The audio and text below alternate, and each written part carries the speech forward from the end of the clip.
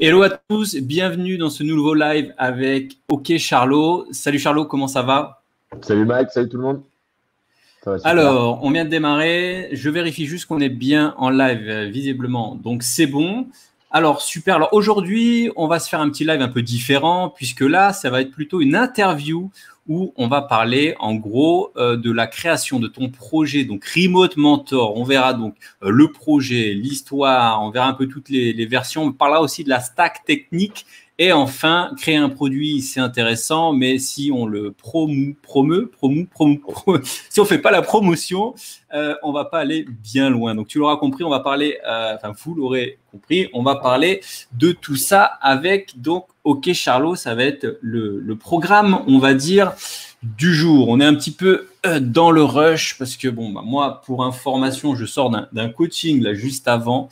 J'ai eu 30 minutes, euh, un petit quart d'heure pour se préparer. Et toi, Charlot, tu es, prêt? Je vois que tu es, au taquet.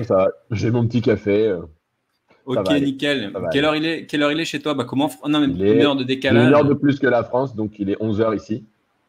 Ok, nickel. Alors on voit que les voilà, bah, on est déjà une vingtaine de personnes, ça commence à arriver. Euh, salut Thomas, Rousse.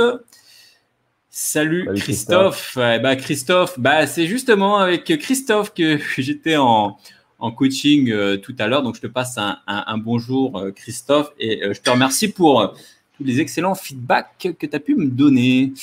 On a aussi Théma Hameras. Voilà, donc les, ça arrive tranquillement.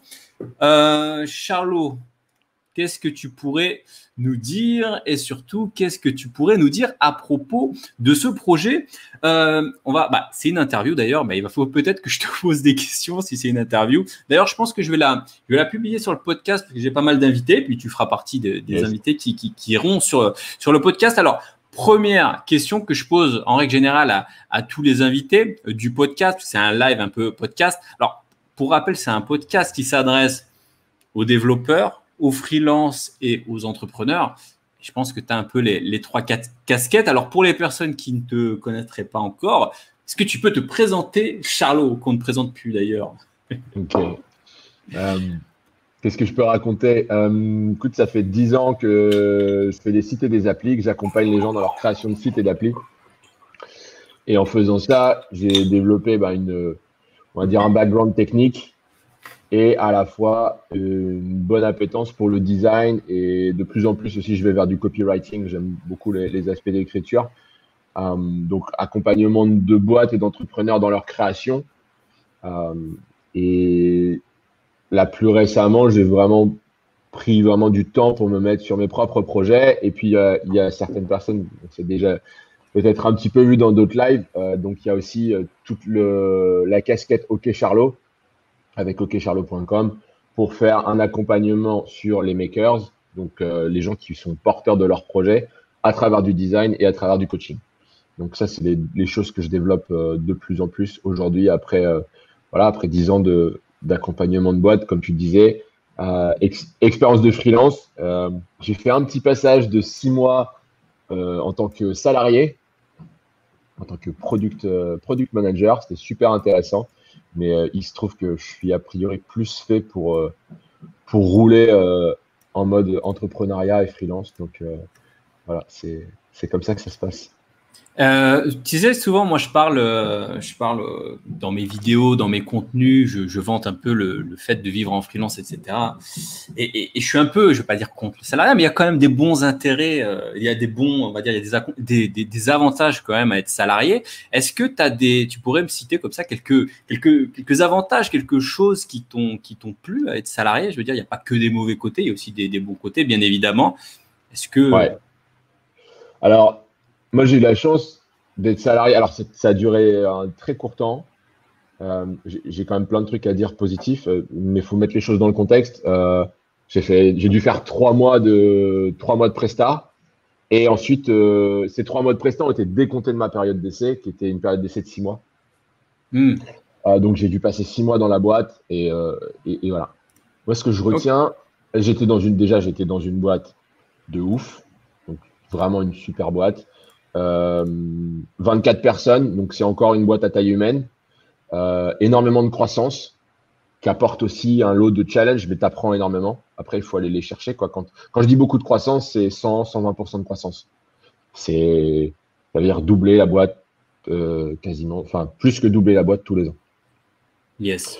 Euh, une boîte qui était quasiment 100% remote, sauf la production. Il y avait une partie de production qui nécessite de l'impression. Euh, et donc, ça, c'était c'était localisé.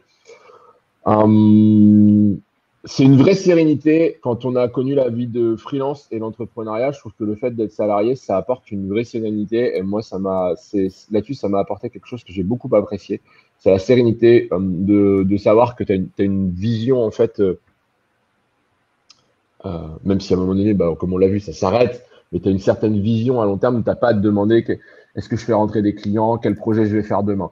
ce que, ce que j'apprécie là-dedans, et je, le retrouve aujourd'hui à passer de freelance pour les autres, ah, je m'occupe beaucoup de mes propres projets, c'est le fait de d'être focus et d'aller en fait aller mettre son énergie sur un projet, éventuellement avoir un projet euh, principal et des activités un petit peu auxiliaires, mais vraiment en fait d'avoir un gros focus. Euh, ça me fait ça peut ça me fait dire en fait que l'un parce qu'il y a le contre-pied en fait pour la vie de freelance, c'est euh, en fonction de la. Il y a plein de manières de faire du freelancing. Tu as le freelance qui va être euh, euh, six mois dans une boîte en, comment ça s'appelle en. Il faut que tu m'aides avec le vocabulaire là. Le, quand tu es en, en régie. Voilà, ouais. voilà, quand tu es en régie, tu es en régie six mois. Je voyais même, il y, a, un gars, je suis sur un groupe Discord. Il y a un gars, il devait faire trois mois, il est passé trois ans. Trois ans de freelancing. Est-ce que c'est encore du freelancing? Quand ton contrat en fait il est aussi long, euh, t'as pas le, le, fait de gérer ta clientèle comme quand tu as des projets qui durent un mois, deux mois, trois mois. Donc voilà, le, le fait d'être salarié, ça apporte ça. Ça apporte aussi le fait de travailler dans une équipe qui est relativement robuste. Encore une fois, ça dépend de la manière dont tu fais du freelance. Euh, et il y a aussi le fait de contribuer à un projet sur le long terme avec une, voilà, avec vision que tu portes euh, à long terme et parfois avec un impact et un sentiment d'impact que tu peux avoir. Quand tu es freelance, le projet, des fois, tu le lances, surtout quand moi je bossais beaucoup en early stage, c'est-à-dire accompagnement au début d'une. Pour, les, pour les, les, grosses applis que j'ai accompagnées, c'est surtout du early stage. C'est-à-dire qu'ensuite, après, les, startups vont avoir tendance à continuer. Soit ça fonctionne, soit ça fonctionne pas. Et si ça fonctionne, elles montent leur team en interne. Alors là, on peut discuter de devenir CTO ou des choses comme ça. Mais le fait de voir un produit, un projet évoluer sur le long terme, voir la croissance de l'équipe aussi, avec les problématiques de, recrutement qui vont avec, euh, ça, c'est des choses qui sont vachement intéressantes. Euh, ok. Mais c'est très euh, particulier, c'est très propre à mon expérience. Je pourrais pas parler de manière générale freelance versus salariat. Pas de, pas de souci. Maintenant, maintenant venons-en au, fameux projet, le projet Remote Mentor c'est un, projet, est-ce que tu peux nous en parler? D'où est venue cette, euh, cette envie de monter une plateforme? Alors, je vais peut-être te laisser présenter cette plateforme, pour, euh, parce que sinon, ce n'est pas marrant. Et euh, d'où est venue cette idée, en fait? Ok. Hum, je me demande si à un moment donné, on va pas faire un petit, un petit partage d'écran pour que les choses soient vraiment explicites. carrément. Tu en penses Les gens ne le, verront pas dans le, dans le podcast, mais vu que, que c'est aussi sur YouTube, ils pourront toujours le voir sur YouTube. Mais il n'y a pas de souci, ouais, bien sûr. Après, il y a plein d'éléments. Je, donnerai un peu des éléments pour aller voir à quoi ça ressemble euh, euh, et, partager ça avec tout le monde. Euh, alors, l'historique du projet, un truc qui m'a toujours éclaté, c'était de faire des expériences multimédia qu'on appelle du cross-média. C'est-à-dire une expérience multimédia dans laquelle on va venir mélanger de la vidéo, et euh, des aspects multimédia. Donc typiquement, enfin les premiers que j'ai fait comme ça, c'était en 2014-2015, et j'avais fait une, une, plateforme qui permettait de découvrir les métiers de la mer en allant explorer des villes euh, du littoral. Et donc j'avais intégré, on avait intégré, on avait refait avec l'API Google Street View, on avait fait des 360, on avait fait nos photos nous-mêmes, on avait recomposé parce que Google Street View, c'est une, sphère de photos, en fait. C'est plein de photos qui sont collées euh, euh, les unes autour des autres pour que quand tu les fais bouger sur ta page, ça te fait une sphère. Et donc, tu pouvais naviguer, en fait, euh, vraiment dans l'API Google Maps avec des vraies coordonnées géolocalisées. Et tu pouvais aller rentrer dans un atelier et aller interviewer le, mec qui tenait l'atelier. Tu pouvais aller visiter la charpente marine, voir comment on crée un bateau, un, gros gros bateau, quoi, genre un, un, un navire de pêche, quoi. Comment on le met à l'eau. C'était dans, c'était dans, dans, quelle, dans quelle région? Ah, ça c'est en donc ça c'était en Normandie. Moi je suis originaire ah. de Normandie. Eh ben, eh ben ça va, ça va plaire à, à, Christophe euh, Soulier ici qui est de, de Caen. Euh, ah, qui est de Caen, donc euh, ouais, c'était pas loin. Eh ben, je pense, Christophe, je suis né à Caen. voilà. eh ben, je lui ai dit la même chose. Je suis né à Caen, donc il y a trois personnes nées à Caen dans ce dans ce live. Yes, et eh ben, cool. Vive la Normandie. Vive la Normandie. Et, euh, et euh, alors, ouais, du coup, c'est en Normandie. Euh, et, et donc, cette expérience-là, elle avait pour but de présenter tous les métiers de la mer. Parce que tu as plein de gens qui se reconvertissent. Et donc, c'est comme, en fait, aussi dans le dev, c'est exactement la même problématique. Des gens qui se reconvertissent, soit des gens assez, des jeunes, en fait, qui, qui se disent, tiens, moi, je voudrais bien bosser dans ce coin-là ou dans ce thème-là, mais je sais pas quoi faire. Euh, ou alors des gens qui veulent changer de métier, qui étaient typiquement, par exemple, dans l'industrie ou dans le BTP, et qui veulent aller se reconvertir dans ces métiers-là. Donc j'avais fait cette, euh, ce, truc-là, et alors c'était sur Angular avec une API sur WordPress, euh, parce que c'est des gros gros JSON en fait pour composer ton, ton truc, mais c'est un peu complexe à mettre en place au début, mais une fois que ta data elle est figée, tu la changes pas tous les jours. Donc tu, tu peux un petit peu hacker le truc. Donc, tu as réussi à. pardon, je te coupe. As réussi, ça va plaire un peu euh, les parties techniques euh, à, cette audience. Euh, la partie technique, tu as réussi à, intégrer de l'Angular dans du WordPress, c'est ça? Ou c'était plutôt. tu as utilisé le WordPress pour la partie API et Angular sur Ouais, c'est ça. Alors, faut rembobiner un peu, c'était WordPress avant WPJSON, c'était avant, avant que WordPress intègre l'API, donc il fallait, il fallait hacker un peu le truc. C'était même avant que dans ACF, pour ceux qui font du WordPress et qui utilisent ACF, Advanced Custom Fields, c'était avant qu'il y ait les subfields. Donc, il fallait faire ces subfields soi-même. Et donc, nous, on a fait nos subfields nous-mêmes. Après, on a hacké du WordPress, du ACF, du PHP, des trucs comme ça, pour générer du JSON. Et en fait, mon JSON, après, ce que j'ai fait, c'est que le JSON, je l'ai, imprimé, en fait. J'ai print mon JSON et, euh, et, et, parce que j'avais pas besoin de faire un call API, l'API, elle change pas. Donc en fait, tu as besoin d'une machine euh, qui fonctionne pour intégrer. Euh, c'est difficile. Je vais vous faire un partage d'écran. Alors, on va parler de Remote Mentor. Je vais vous montrer Remote hmm. Mentor parce que là, on parle de technique. Ouais, Toi, Mike, parler, tu en parle, mais euh, alors Remote Mentors. Du coup, ayant fait ça, après 10 ans de vie à Paris, moi j'avais mon bureau dans, j'avais mon bureau chez moi à Paname, et la vie a fait que j'ai bougé et j'ai commencé à, me déplacer un peu. Et j'allais beaucoup au Maroc euh, pour surfer et, coder en même temps. Euh, je faisais des petits sauts à droite à gauche dans d'autres pays aussi. Et là, cette fois-ci, c'était ben, euh, je pars plusieurs mois. Et mon projet, c'était je pars plusieurs mois. Et puis en gros, je rentre au bout de quelques mois et je vais m'installer à Bordeaux. Et, et ça s'est pas passé comme ça. Mais ce que j'ai fait, c'est que comme je kiffais en fait faire ces projets multimédia, je me suis dit, je vais rencontrer du monde, je vais aller interviewer les gens. J'ai interviewé des gens au Maroc, j'ai interviewé des gens à Bali, j'ai interviewé des gens en Pologne, j'ai interviewé des gens euh, au Portugal.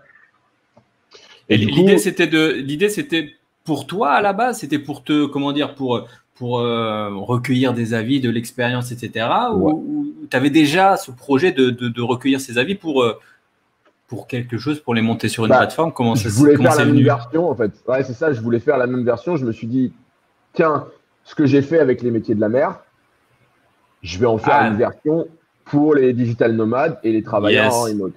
Et l'intérêt aussi, et ça, toi, tu le sais bien, tu fais, tu fais tellement, tu fais, des, tu, tu fais des interviews, tu fais des podcasts, et voilà. Euh, un truc très intéressant qui se passe quand tu fais des interviews de, de gens, c'est que tu as accès à des gens qui vont t'accorder une demi-heure, une heure de leur temps, et tu apprends énormément de choses en faisant ça. Et ça, euh, quand tu vas dans un autre pays, euh, alors il faut pas le faire que pour ça, mais c'est une façon quand même de se dire, je vais ouvrir le champ des possibles en allant voir des gens que je, j'ai un prétexte, si tu veux, pour aller parler avec des gens. C'est pas salut, on va boire un café, alors qu'il n'y a rien de spécial à dire. C'est salut, est-ce que je peux t'interviewer? J'aimerais que tu me racontes ta vie, j'aimerais que tu me racontes ton parcours, j'aimerais que tu me fasses part de tes conseils. Et là, il se passe des choses assez magiques parce que tu, tu, tu, tu finis par, tu passes une heure de temps avec quelqu'un à qui tu n'aurais probablement pas eu la chance d'aller déjeuner, par exemple. Et ça donne accès à des, à des profils super intéressants. Donc ça, c'était aussi une démarche un peu égoïste. Et, et, c'était qui le, excuse-moi, je te coupe, c'était qui le premier, la première personne que tu as réussi à interviewer? C'était au Maroc et c'était qui? Ouais. Je ne sais pas si tu t'en souviens d'ailleurs. Alors, euh, je peux me tromper, une chance sur six, j'ai une chance sur six de me tromper, mais quand j'étais au Maroc, moi, je descendais toujours dans un endroit qui s'appelle Sundesk, je leur fais un coucou d'ailleurs, euh, qui est tenu par euh, Magda, Magdalena, et euh, Magdalena, elle est allemande, et elle a monté Sundesk. Sundesk, en fait, c'est un co-living, co-working, qui est à Tarazout, et en fait, tu peux aller surfer à pied quasiment quand tu vis là-bas. Et c'était ma première destination. J'avais l'habitude de descendre là-bas. Et en fait, j'ai commencé par faire Hey, salut, je peux vous interviewer. En fait, j'ai interviewé mes, les gens de mon co-living, quoi. Et euh, les gens de mon co-living et Magda, qui était, euh, la, qui était la, la notre bah, la créatrice du, du, du, co-living. Et ensuite, en général, ce que j'ai fait quand j'ai à Bali, c'était un peu plus costaud parce que tu as plusieurs coworking space, tu as beaucoup plus de monde. Et là, ce que j'ai fait, c'est salut, euh, j'ai envoyé un message. On est, on est en 2016. Tu avais moins de gens qu'aujourd'hui, tu avais moins de, volume. Et donc, c'est salut, euh, je fais euh, des, des, interviews dans les coworking space. Est-ce que je peux vous parler? OK, mise en relation avec la community manager. Et là, tu as la community manager qui me dit faut que tu interviewes elle, elle, lui, lui, lui, elle, lui, elle, lui. Et voilà. Et là, d'un seul coup, tu te dis, putain, j'ai 10 interviews à tourner, j'ai pas le temps, je passe la semaine ici et rebelote dans un autre coworking space. Ce qui fait que j'arrivais et, et, en fait, j'avais, j'ai passé mon temps à faire des interviews. Euh, et là, aujourd'hui, il y a 45 interviews sur, le, sur la plateforme. Et en fait, tu t'es donc tu t'es servi de l'expérience que tu as, as, acquise euh, durant le projet en Normandie euh, sur euh, bah, comment prendre, enfin comment poser les questions, comment filmer, tout ça. Tu avais de l'expérience. Enfin, tu as eu d'autres projets dans le même style ou comment ça s'est passé en fait? Je sais pas si tu vois ma question sur la partie plutôt technique, parce que je sais pas, tu pas, pas une formation, mais bon, il n'y a pas besoin de formation de, journaliste ou quoi, mais tu, vois, il y a quand même. Ouais, je parle en, vidéo, tu vois, le, fait. ah, pardon, ça, ça frise chez moi. Excuse-moi, je vais parler tout doucement pour pas, pour pas peut-être, euh, bon, ça va pas changer, mais non. Alors je repose. Ah ouais, toi tu frises par contre, je te vois plus. Alors là, ça va être compliqué si si je te vois plus. Euh, bon, si je te vois plus, bah, le live, ça va pas être, euh, ça va pas être marrant. Euh, ah tiens, bah, alors le temps que, parce que je sais que Charlot parfois a des problèmes de connexion, on va le laisser se déconnecter et se reconnecter. Mais la question que j'allais lui poser, je sais pas s'il m'entend, j'entends du bruit maintenant chez lui. Euh, la question que j'allais poser à Charlot, en gros, c'est euh, d'où il a eu cette, euh, cette expérience en fait, enfin ses, ses, ses compétences. Hop, il est parti, il est revenu. On te voit. T'es parti de faire un café peut-être, Charlot? tu nous vois? Nous, on te voit. Bon, je vais. Il est parti. Bon, bah, je vais continuer. Bah, ce que je vais faire le temps que Charlot euh, résolve ses problèmes techniques, je vais bah, tout simplement lire un peu vos questions. Euh, hop, allez, on enchaîne. C'est assez drôle car je suis en remote au Maroc depuis deux mois maintenant. Pour l'instant, je n'ai pas rencontré de codeur nomade si vous connaissez des communautés au Maroc, je suis intéressé. Bah, n'hésitez pas à mettre, euh, à mettre justement euh, bah, s'il y a des personnes qui viennent du Maroc ici et qui ont des, qui ont des, des, des, des bons plans. Alors attends, hop, j'ai Charlot. Donc je vais supprimer cette connexion et je vais rajouter Charlot. Allô Charlot, est-ce que tu nous entends? Ici? Yes. Oui, allô, Houston? Houston? Je, vous entends, je, t'entends et euh, je t'entends, tu m'entends? Vous m'entendez? On t'entend, on t'entend, moi je t'entends, donc euh, je pense qu'on t'entend, on te voit bien là, ça marche bien. Ok, cool. Désolé pour les coupures, je, fais, je fais, des switches. Ici c'est un peu euh, instable et il y a une bonne bande passante, mais elle est, elle est instable. Euh, elle alterne. Bon, on, a, on a la même chose à Bali, c'est pas très stable. Mais bon, donc tu, si tu nous entends, tu nous dis quand tu es prêt. Ouais. Parce que je vais te, je vais te reposer ma question que j'avais du mal, que j'avais du mal à poser. C'était, bah, d'où tu as eu ces, toutes ces, toutes cette, toutes ces connaissances, même si c'est pas, pas besoin non plus de sortir d'une école, une école de journalisme ou quoi, mais, mais je veux dire, c'est peut-être pas venu à tout le monde d'arriver, de dire, tiens, hop, je pose ma caméra, euh, assis-toi là, euh, prends un micro, euh, le son, ceci, cela, c'est parti, j'enregistre. Tout ça, tu l'as acquis en fait par rapport à, à, tes expériences précédentes. Tu as eu comme ça un, background et puis tu t'es dit, bon, bah voilà, maintenant que j'ai déjà, déjà fait ce type de projet, ça va être facile pour moi d'aller dans un coworking à Bali, au Maroc, d'aller voir le CEO et puis de lui dire, bah écoute, c'est parti pour une interview. Et en plus, d'ailleurs, si je me souviens bien, c'est pas uniquement en français, c'est aussi euh, en anglais, voire même principalement euh, en anglais, ce qui n'est pas, ce qui, ce qui n'arrange pas les choses. Enfin, ça dépend du niveau d'anglais des uns et des autres. Ouais. Alors euh, pour, pour l'anglais, j'ai alors j'ai un accent français qui s'entend bien, hein, mais j'ai la chance d'être un peu en anglais depuis 2008. parce que j'ai fini mes études deux ans en anglais et que ça, c'est un truc que je recommande à fond, euh, c'est de switcher. Enfin, on en a déjà parlé, j'en parle toujours dans mes coachings. C'est euh, de, même s'il y a des difficultés à l'anglais, il est jamais trop tard pour se mettre à l'anglais. Il faut y aller, les gars, il faut parler anglais, quoi. Dans le dev, euh, ça vous donne l'accès. Alors, du coup, je suis parti de l'anglais, mais je n'oublie pas ta question. Ça vous donne l'accès à la connaissance sans forcément toujours attendre qu'elle soit traduite et ça, c'est essentiel, ne serait-ce que quand vous faites des recherches Stack Overflow, des recherches sur Google, des recherches sur Git, euh, tu bosses sur, euh, je sais pas moi, AWS ou, euh, GraphQL ou j'en sais rien, n'importe quel, n'importe quel techno. Tu as une question, si tu es capable de la formuler en anglais, tu vas avoir des milliers de, réponses qui ont, été, qui ont été rodées, alors que tu as beaucoup moins de chances que sur le monde francophone, même si le monde francophone est grand, si dans le monde francophone, il y a quand même des devs qui bossent en anglais, ils vont aller poser leurs leur réponses en anglais. Donc, ça veut dire que en faisant tout en français, on se coupe de énormément de choses. Donc, je trouve que déjà, l'anglais, c'est euh, un truc qui est, qui, est, quand même assez important. Mais, mais je, je, je, rajouterais quand même qu'il que y, a, y a, à mon avis, il y a quand même un gap énorme entre écrire une question, savoir poser une question en anglais et faire une interview, interviewer quelqu'un en anglais, comprendre les subtilités, euh, pouvoir rebondir euh, du tac au tac euh, assez rapidement. Je pense qu'il y a, il faut avoir un bon niveau à mon avis pour, mener une interview en anglais. Je fais, je fais, j'écoute, mais je, je, suis en train de top mon téléphone pour pouvoir éventuellement rebasculer si, nécessaire. Pas de souci. Ouais, ouais, c'est vrai qu'il y a un, c'est vrai qu'il y a un gap, c'est vrai qu'il y a un gap entre lire un bouquin en anglais et écrire ses questions en anglais et aller parler avec des gens en anglais.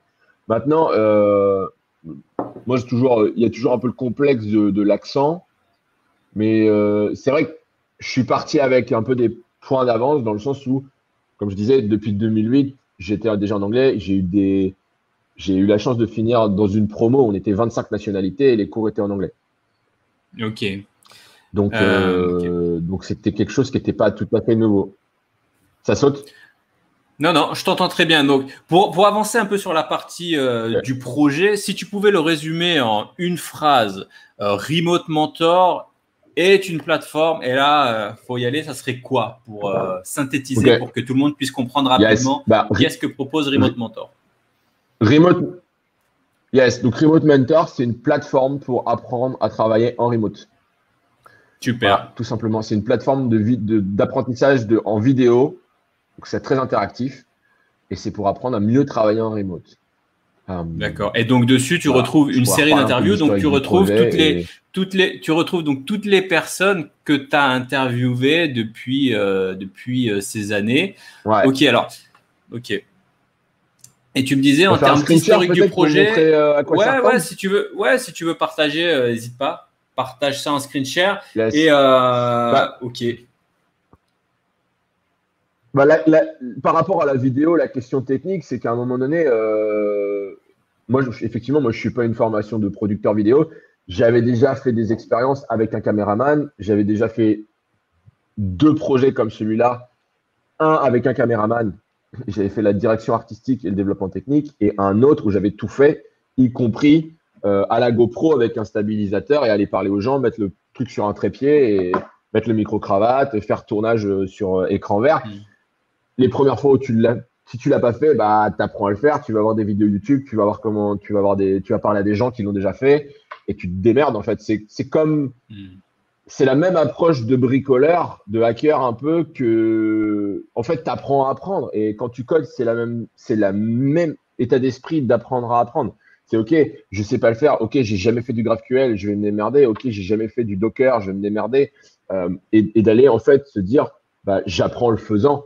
Et effectivement, du coup, c'est pas parfait. Du coup, j'ai des merdes, tu vois, j'ai des vidéos, elles sont mal éclairées, euh, elles sont complètement sous-exposées. Du coup, c'est une galère. Euh, j'ai des sons, des fois des prises de son qui sont dégueulasses, mais j'en ai qui sont bonnes. Et voilà. Mais si tu te dis, bah, j'attends d'être prêt et j'attends d'avoir tout compris pour le faire, mais ça va jamais arriver en fait, parce que tu ne peux pas l'apprendre sans t'être cassé les dents dessus. Donc, faut y aller. Après, il faut pas se mmh. suréquiper, comme moi j'ai fait ça avec une GoPro et un enregistreur Zoom et c'est presque suréquipé. Aujourd'hui, avec ça, là, alors c'est un bon téléphone, hein, je, je, suis bien équipé, j'ai de la chance, mais avec ça, tu fais déjà des trucs, tu n'as pas besoin d'autre chose. Avec un téléphone, tu n'as pas besoin d'autre chose. À part le, son, je pense que c'est bien d'avoir un bon micro. Quoi. Avec un téléphone, aujourd'hui, tu fais des trucs de, de, fou, donc il n'y a, même pas, a même pas besoin de chercher. Quoi. Euh, ok. Je vous fais un petit euh, partage d'écran, du coup. Euh, ok, fais-nous un, petit partage d'écran, pas de souci. Parce qu'à un moment, tu, enfin, moi, j'allais te poser, mais partage l'écran pour que qu'on puisse voir à quoi ça ressemble. Mais on allait parler un peu de l'historique du projet. Euh, ça, c'était au Maroc, c'était il y a quelques années. Tu as, commencé par les interviews. Ça, ça date de, de, quand à peu près? Ça, c'était il y a 2-3 ans, dans, dans ces eaux-là, que tu as commencé à prendre les premières interviews? Je, je sais plus. ouais. Bah, en fait, ce que, je, ce que je disais, c'est que peut-être on pouvait faire un partage d'écran pour que ce soit plus concret. Bah, dès, que tu, dès que tu l'as, je le. Dès que tu me le shares, je peux le mettre à l'écran. Yes. OK, on a ça. Remote Mentors. Voilà. Donc une fois qu'on est là, euh, donc comme vous voyez, on a un sign-up euh, réseaux sociaux. Comme ça, c'est en, un seul clic. Euh, donc ça, c'est implémenté avec Cognito de Amazon mhm. sur Amplify. Donc c'est du, c'est ça permet. Je, crois que tu avais fait une formation là-dessus, non? Sur Cognito euh, Non, pas, ah, sur Cognito. Facebook, du coup. Ok, c'est pas. ok, du coup, tout le monde va voir mon email. Et hop. Euh, affiche pas le mot de passe parce que ça serait dommage. non, non, je n'ai pas affiché le mot de passe, t'inquiète. Voilà. Donc là, accueil. En gros, on retrouve ici les 45 et quelques euh, profils que j'ai interviewés. D'accord? Et donc, sur chacune de ces personnes, voilà, ici, je vais pouvoir aller choisir, euh, je vais pouvoir aller choisir une personne que j'ai envie d'interviewer. Par exemple, euh, Mike ici. Donc, Mike, c'est le fondateur d'un coworking space à Bali qui s'appelle Dojo. Et je vais pouvoir poser des questions à Mike. Par exemple, comment, euh, qu'est-ce que tu penses des avantages et des inconvénients à avoir une boîte totalement remote? Et Mike, Mike va me répondre en vidéo. Je peux lui poser. on n'entend pas le, son? D'ailleurs, c'est dommage, ça aurait été sympa. Attends, je vérifie. Tac, tac, tac. Non, il n'y a pas d'audio. Bon, c'est pas grave. Mais ok. J'ai coupé. Ouais, j'ai coupé. J'ai coupé le, j'ai coupé le son de la vidéo. Ok, pas de souci. Euh, et en fait, voilà, je, peux, je peux poser plusieurs questions à Mike et l'avantage, c'est que je n'ai pas à me taper toute l'interview. J'ai pas besoin de regarder une interview d'une heure, je peux avoir seulement les informations qui m'intéressent. Et là où ça commence à avoir de la puissance, et c'est un principe que j'ai appelé le atomic learning et les, vidéos atomiques, c'est que chaque élément d'information est une vidéo. Du coup, je peux les lier entre elles. Et donc là, cette question, comment voyez-vous le futur du travail en remote? Je peux aller poser la même question à toutes les personnes qui ont répondu. Je peux avoir toutes ces réponses-là de, tous ces gens-là, en fait. Ici, sur la gauche, j'ai la réponse de 12 euh, personnes, 10 personnes. Et donc, c'est des, c'est des, questions qui, c'est des réponses, pardon, qui sont en moyenne. Donc, on est d'accord, on est sur des réponses très courtes. On est de l'ordre de la, de quelques dizaines de secondes à une minute dans ces eaux-là. Et c'est très, très, donc, découpé par, euh, par, par question, par type de question, par interviewé, etc. Ouais, ça va de 20 secondes à 3 minutes. Il y a des, il y a des réponses qui méritent euh, de s'attarder quand même. D'accord, ok. Il faut savoir qu'il y a des profils quand même dans les gens que j'ai interviewés là. Il y a des profils d'excellent calibre en fait. je prends des exemples, mais Jamie, il a 40 000 followers, c'est un filmmaker, il a 40 000 followers sur Instagram. Andrea, elle est CEO d'un client email qui est un concurrent d'Outlook. Elle a une team de 25 personnes en full remote. Euh, ça fait 7 ans qu'elle est en Indonésie. Elle a beaucoup de choses à raconter. Euh, David, il travaillait euh, à la bourse à New York. il a monté trois coworking space à Bali et des co-living. Michel Endera, Julia et Diego, c'est des gens qui organisent des retreats toute l'année pour les digital nomades et les travailleurs en remote. voilà, Rob, il a écrit un livre avec sa femme sur les digital nomades à Bali. Euh, c'est des, voilà, c'est des gens, parfois, tu des gens, ils ont une réponse de 3 minutes, tu leur, tu les coupes pas, quoi. C'est, c'est, des choses qui sont très intéressantes. Et, euh, et, donc, voilà, ce qui est intéressant dans cette techno, c'est qu'avec l'Atomic Learning, on peut passer de, là, on a Étienne qui est français, on peut passer de Étienne, lui poser une question et voir tous les gens qui ont répondu à cette même question. Je peux, ensuite, je peux aussi découvrir des profils un peu en mode un peu Tinder, quoi. Et euh, je peux aussi générer des, réponses euh, aléatoires, ce qui permet de découvrir plein de choses. Donc au total, on a plus de 300 vidéos aujourd'hui et ça peut vraiment scaler. C'est-à-dire que euh, ça peut accueillir des milliers de vidéos et ça peut accueillir des milliers et des dizaines de milliers d'utilisateurs. Et ce qui est intéressant, je pense, c'est que bah, tu te pour un utilisateur qui a des, questions assez précises du type, par exemple, quels sont les avantages et les inconvénients d'être digital nomade, eh ben, tu peux rester focus sur cette question, en fait, et finalement avoir bah, des réponses de différents types de personnes, le euh, CEO de, du coworking, euh, de tel ou coworking, euh, tel nana, etc. Et du coup, ça te donne des réponses différentes pour finalement la, la, même question. Et parfois, quand on a une question, on veut avoir plein d'avis. Et je pense que c'est un, quelque chose de d'assez euh, d'assez d'assez innovant finalement parce que c'est pas bah, personnellement je l'ai jamais retrouvé ce principe j'ai jamais retrouvé sur sur d'autres plateformes.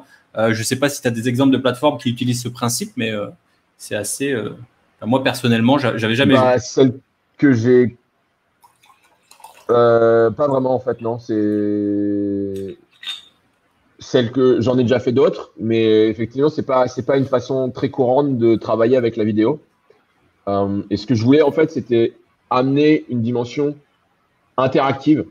Pourquoi? Parce qu'il faut, partir du problème. En fait, le travail en remote, c'est pas la même chose pour toi, pour moi, pour certaines personnes qui nous regardent, que par exemple pour une, femme qui a deux enfants et qui travaille à la maison, que pour une famille qui veut voyager, que pour quelqu'un qui a 25 ans et qui veut changer de pays tous les deux mois, ou quelqu'un qui se dit bah moi je vais aller me poser en Thaïlande pendant huit mois.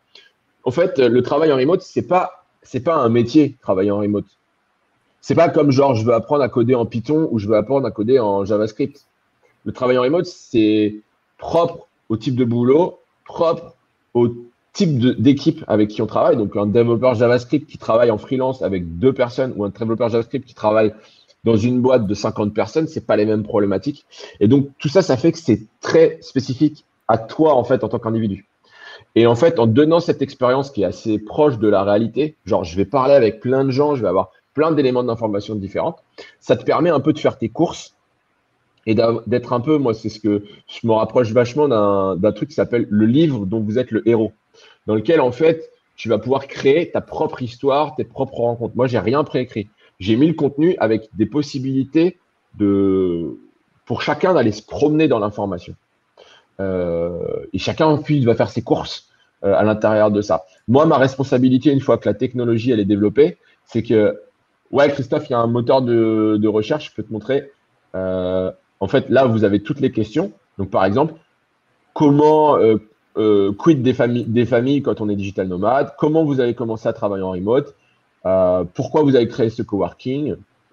Et là, par exemple, je peux dire, je peux taper par exemple dev. Donc là, j'ai tous les gens qui ont fait du dev ou du business dev.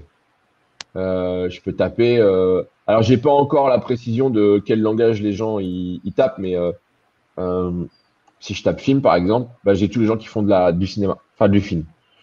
Si je tape coworking, peut-être que j'ai des résultats aussi. Voilà. Là, j'ai tous les gens qui sont impliqués dans la création d'un coworking. Donc ça, c'est des gens qui ont créé des coworking. Voilà. Et je peux aussi créer des playlists. Vous voyez, là, j'ai des playlists en fonction des, euh, en fonction des types de business. Donc, euh, genre, moi, je vais créer des playlists arbitraires et je vais dire, bah voilà, si tu es développeur, regarde cette playlist-là, tu vas avoir que des contenus qui sont intéressants pour les développeurs. Et, et ça permet de réorganiser du contenu qui n'était pas organisé avant. C'est l'utilisateur qui, crée ses propres playlists ou c'est des playlists qui sont créées par, euh, par toi dans back office ou quoi? Enfin, c'est qui, qui crée ces playlists? Pour le moment, c'est moi qui crée ces playlists-là en back office en disant je vais faire des tracks en fait. Je vais dire euh, c'est comme une playlist de YouTube, tu vois. Tu as ta chaîne YouTube et tu as des playlists, tu vas pouvoir créer des playlists en fonction des thématiques. Pour le moment, c'est moi qui vais les créer. Demain, effectivement, et là, du coup, je vais te répondre, Fabien. Fabien qui nous dit si on cherche une question précise, est-ce qu'on peut la poser dans le moteur de recherche? Oui, mais non. En fait, ce que tu vas pouvoir faire, c'est que les questions, elles sont préenregistrées, c'est-à-dire c'est moi qui posais les questions. En revanche, moi, ce que je veux faire, mon ambition avec ça, c'est de dire demain, euh, Fabien, si tu es, euh, membre premium sur Remote Mentors, la question, tu me l'envoies.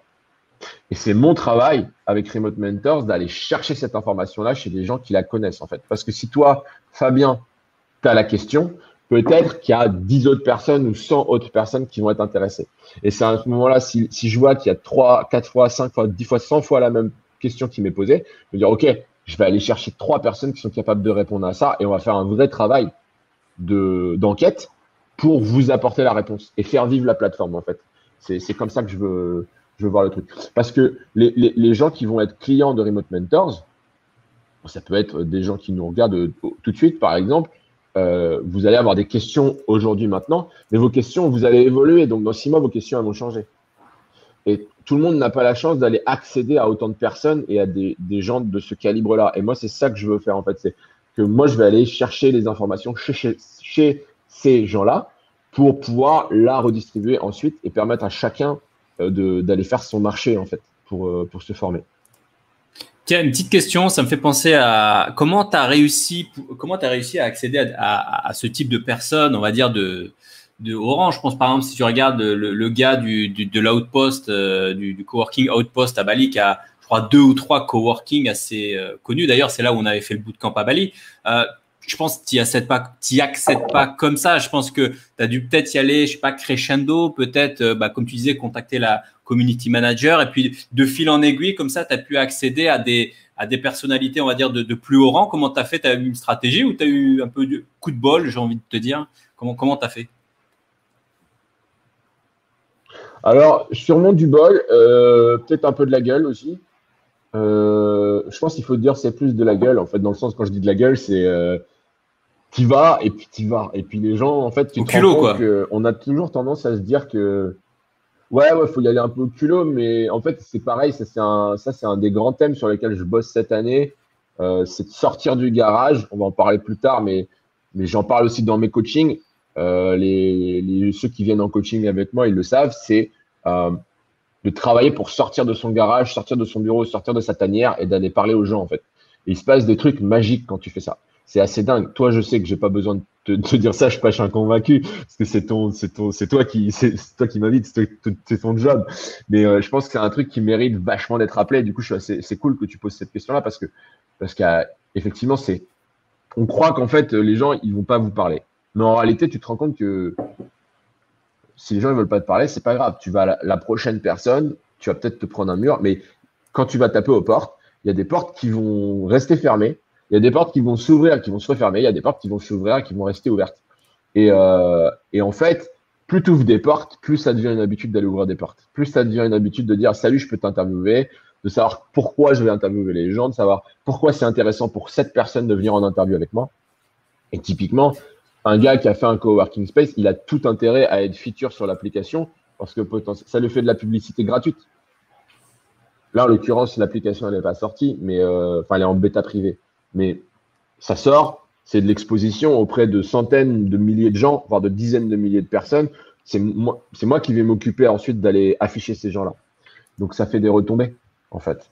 Et euh, alors, ensuite, euh, pour être au sérieux, il faut commencer petit, car tu te fais les dents avec tes potes de co avec tes copains à toi, et tu vas interviewer les gens proches qui vont pas tu as, peu d'enjeux, tu testes ton matos, tu testes ton micro, tu testes tes questions.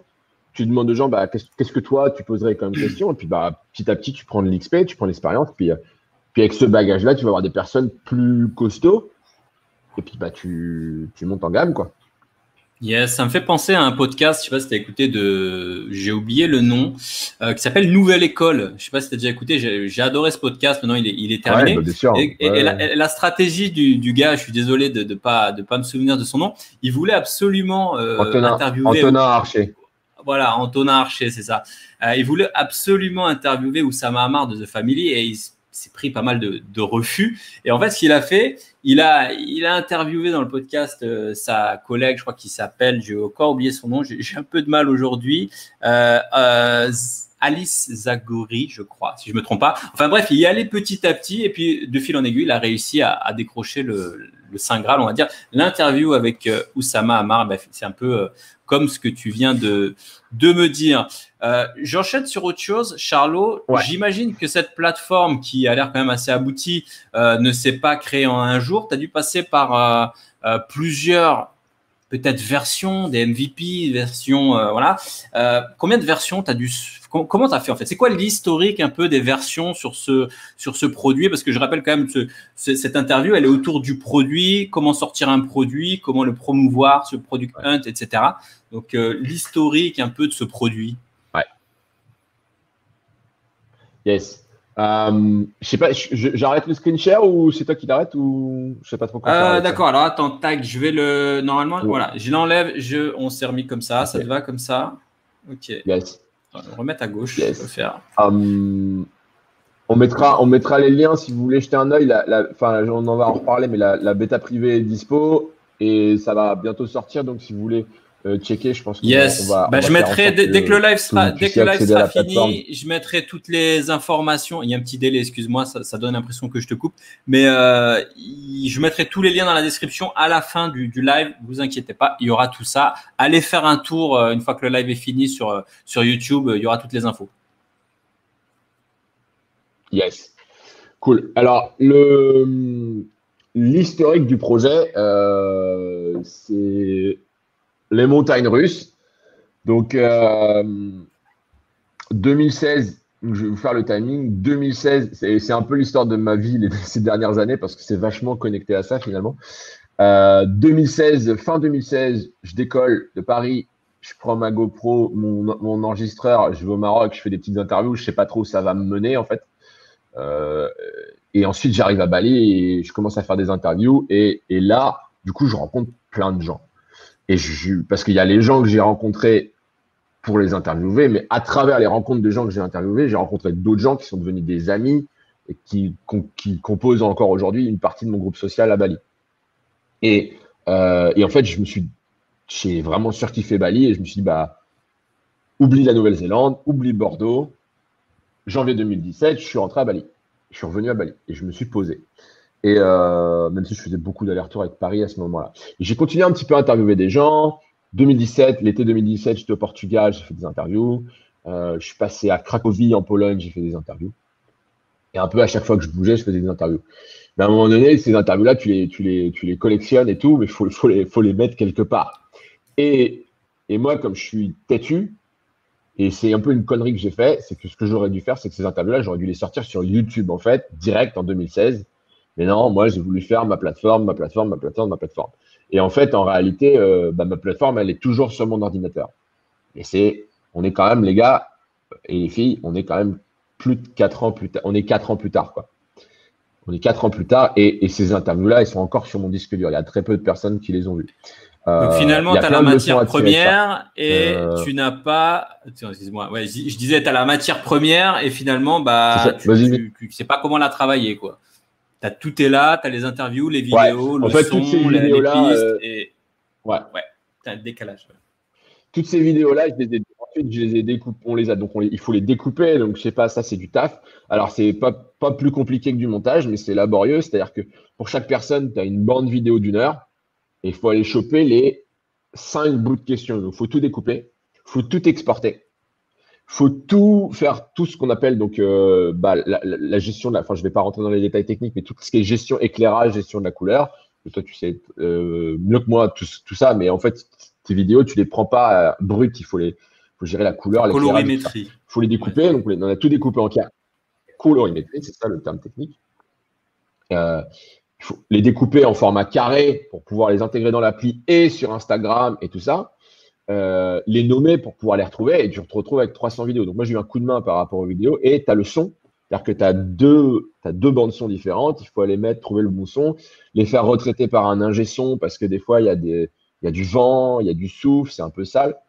Donc toute cette matière-là, au bout d'un moment, voilà, on l'a et euh, je me suis fait aider et euh, ça m'a pas coûté trop trop cher en me démerdant bien. Mais il faut développer la plateforme. Et donc la plateforme, dans ma tête, profite pour te placer cette question. Justement, ça, tu vas enchaîner sur ça. Est-ce que tu as codé le, est-ce, que as codé le produit tout seul ou comment tu l'as codé? C'est un peu ça. Ouais. Euh, et, donc, euh, je, vais, je vais essayer de, en fait de donner des réponses à ça en parlant de l'historique. Donc 2017, j'ai ça. Et euh, moi, j'ai l'archi en tête. Je sais comment ça doit fonctionner. Et, euh, et voilà. Je me fais aider d'un pote qui est un dev backend Node et qui vient à la maison. Et moi, au début, j'étais parti sur une infra. Euh, enfin, j'étais parti sur une archi sur 16JS. Je me suis dit, OK, là, je vais, euh, je vais pas partir sur du WordPress, euh, un truc un peu crade. Je veux faire un truc costaud qui va tenir la route. Encore une fois, connerie. Parce que mon truc, il aurait pu être sorti en 2017 si j'avais réutilisé ma base de code que j'avais déjà ou que je fasse un JSON à la main. Non, je pars sur Sales. Du coup, qu'est-ce qu'il me faut pour Sales? Postgres. J'avais jamais fait de Postgres. Qu'est-ce qu'il me faut pour héberger tout ça? Docker. Je me mets à faire du Docker. Alors, c'est bien. J'ai appris plein de trucs. Hein. J'ai appris du CSJS. J'ai appris donc ce qu'on appelle le API Driven Development, c'est-à-dire tu fais du développement basé sur ton API. Donc d'abord, tu conçois ton API. Et c'est l'API, en fait, c'est la donnée qui va traiter. J'ai appris un peu ces, ces bases de là. J'ai un pote qui vient à la maison un soir, on fait des schémas et tout, et on trouve l'architecture de la data. Et ça, le truc, il est craqué. Et ça, ça n'a pas bougé, c'est toujours le, même truc. Et du coup, c'est mon pote Patrick euh, qui est aujourd'hui qui est retourné de Bali vers le Colorado et je lui dois une fière chandelle parce qu'il m'a débloqué là-dessus. Donc là, l'API, au niveau archi, c'est calé. J'ai mes Docker, j'ai un Docker pour Postgres, j'ai un Docker pour l'API, j'ai un Docker pour le front et j'ai un Docker pour un proxy tu t'es mis bien, quoi. T'as pas commencé à, faire. Ouais, ouais, mais c'est complètement débile. T'as pas. Je, je, le dis comme ça, mais parce que t'as pas. J'étais tout seul, j'avais pas de business model, j'avais quatre dockers à gérer alors que j'en avais jamais fait. Et sur. Euh, voilà. Donc tout ça, en fait, ça, c'est vraiment le délire de l'artiste, tu vois. C'est euh, tes devs et tu t'éclates avec la techno. Mais au bout d'un en fait, je me suis essoufflé là-dessus. Donc, euh, ce truc-là, il prenait du temps. Alors, je m'amusais et tout mais je m'amusais. C'est pas un business de s'amuser. Le, business, business, c'est pas s'amuser en fait. Euh, faut prendre plaisir à faire ce qu'on fait, mais c'était mon approche, elle a toujours été complètement déséquilibrée. Et j'ai pas vraiment appris de mes erreurs parce que euh, parce que cette année j'ai refait la même chose. En mieux, mais j'ai refait la même chose. Et euh, donc 2017, ce truc-là. 2018, à un moment donné, là je découvre euh, Peter Levels, qui est le gars qui a créé Nomad List, qui est un mec, euh, pour ceux qui. Alors, Peter, Peter Levels, c'est euh, dans la scène des makers à l'international, c'est un peu le plus connu, ou un des plus connus. Et lui, il a créé Nomad List, qui, est une, appli qui a cartonné. Et, et, lui, il a fait un talk dans le coworking space d'où je bossais à Bali. Et ce que j'ai retenu de son truc, c'était ne faites pas un truc gratuit. Parce que si vous faites un truc gratuit et que ça marche pas, je sais pas pourquoi vous le faites, c'est pas du business, voilà. Et, euh, et ça vous avez peu d'enjeux finalement, mais surtout si vous faites un truc gratuit et que ça fonctionne, ça va vous coûter du fric. Et là, moi, je me dis merde, je me démonte pour faire mon projet, ça me coûte. Euh, alors, j'ai payé quelqu'un pour m'aider sur la colorimétrie et sur le, découpage, un ingé son. C'est pas beaucoup d'argent à chaque fois, mais c'est quand même des bons billets. Et moi, j'y passe un temps fou et j'ai pas de business model. Et là, on est en 2018. Il y a eu plein d'autres trucs euh, qui se sont passés euh, aussi dans ma vie et voilà. Et je me dis, ok, il faut que je fasse un deuil. Donc là, j'ai fait un deuil de projet. deuil de projet, c'est qu'à un moment donné, quand tu es freelance et tu as des side projects et que tu fais plein de trucs dans ta tête, plus je, fais j'essaie de faire de la, création artistique à côté. Au bout d'un moment, en fait, tu satures, tu as trop de choses. L'avantage, on parlait en début de conversation, d'être salarié, c'est que tu as un truc Ça paye les factures. Si tu veux t'amuser le week-end et le soir, ok, mais euh, tu mélanges pas tout. Quand tu es freelance, avec la liberté viennent les responsabilités. Discipline égale freedom. Donc, ça, quand tu as trop de liberté et que tu en fais n'importe quoi à un moment donné, ça te revient en pleine tronche. Et c'est un peu ce qui s'est passé. Du coup, j'ai décidé de faire un deuil de projet. J'ai dit, OK, ce projet-là, je l'arrête. Je, l'arrête. Euh, et, je me concentre sur autre chose. Et ça m'a fait beaucoup de bien. Parce qu'à un moment donné, tu as, trop de trucs, quoi. Et, il faut savoir s'arrêter. Et c'est pas grave d'y avoir passé un an. Et ça, franchement, je vous le dis, c'est pas grave si vous avez passé un an sur un truc ou, des semaines. Il y a, y a une notion en finance qu'on appelle forget about sunk cost. Qu'est-ce que ça veut dire forget about sunk cost? Ça veut dire les, les coûts euh, irrécupérables euh, en français. Voilà. c'est ça. Les coûts irrécupérables. Et c'est pareil si tu joues au poker ou au casino. Euh, alors moi je joue pas, mais casino, poker ou investissement. C'est pas parce que tu as investi 100 000 balles qu'il faut que tu réinvestisses 100 000 balles en disant je vais les récupérer. Tu vas pas forcément te refaire. Et donc, tu oublies en fait. Tu as perdu, tu perdu, tu repars sur du propre. Et c'est pas grave. Et je pense que c'est bien d'avoir cette même attitude vis-à-vis des projets. Et euh, ça donne une certaine liberté de dire d'être prêt à arrêter en fait. Parce que tu n'es pas obligé de continuer. Donc j'ai fait ce deuil de projet et je pense que c'est, j'insiste là-dessus, mais je pense que ça, c'est vraiment une leçon intéressante par rapport à ça. J'ai arrêté ce projet. Le truc, c'est que j'avais toujours les vidéos. C'était toujours dans un coin de ma tête. Genre, c'est une obsession, tu vois. Genre, il faut que je le sorte. Euh, et, j'avais euh, les bandes son que j'avais mis sur SoundCloud. Et là, j'étais à Paris et j'étais en train de faire un footing. Et je me réécoutais les bandes son. Je me dis, c'est pas possible. J'ai toute cette valeur, tous ces trucs de gens qui disent des trucs super intéressants. Et c'est bloqué dans mon disque dur. Et c'est toujours en fait, j'ai fait mon deuil, mais j'ai jamais vraiment oublié. Et moi, je suis pas un gars, j'ai vraiment du mal à passer l'éponge. Et donc, euh, donc j'ai pas vraiment fait mon deuil, tu vois, parce qu'un deuil normalement ça se finit et puis tu passes à autre chose. Et, et, et je l'ai pas vraiment bien fait. Et cette année, enfin non l'année dernière, du coup, qu'est-ce qui s'est passé? On s'est rencontrés, Mike.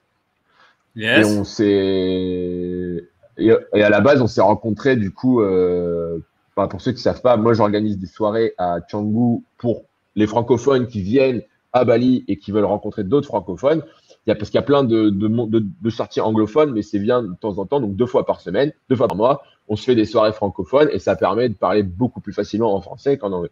Et au début, on s'est fait genre un resto, on était 10.